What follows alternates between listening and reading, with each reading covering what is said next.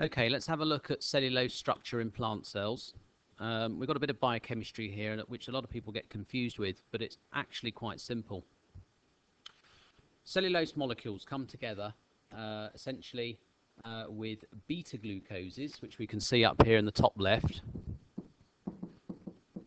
joining together to form a straight chain. Straight chain. And the bonds that form between them are glycosidic. And we can see one right here, glycosidic. And it's a 1, comma 4 glycosidic bond because the carbons involved. Carbon 1 on one beta glucose and carbon 4 on another. Alternate glucose molecules are uh, inverted. And you can see that here with this CH2 OH group being one side and the next beta glucose molecule you can see that it's been flipped upside down and so on. So we have inverted beta glucose molecules. The reaction that forms these bonds is a condensation reaction.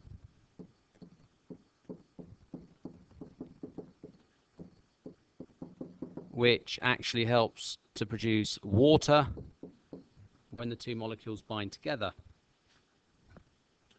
And again, this chain is unbranched, so we can just call it a straight chain. The chains can be held together with hydrogen bonds, which can be seen down here on this bottom figure.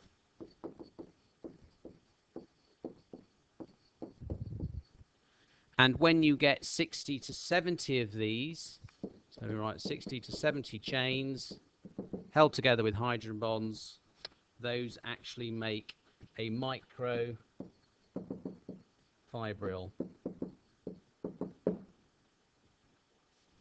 And there we have it, cellulose in its entirety.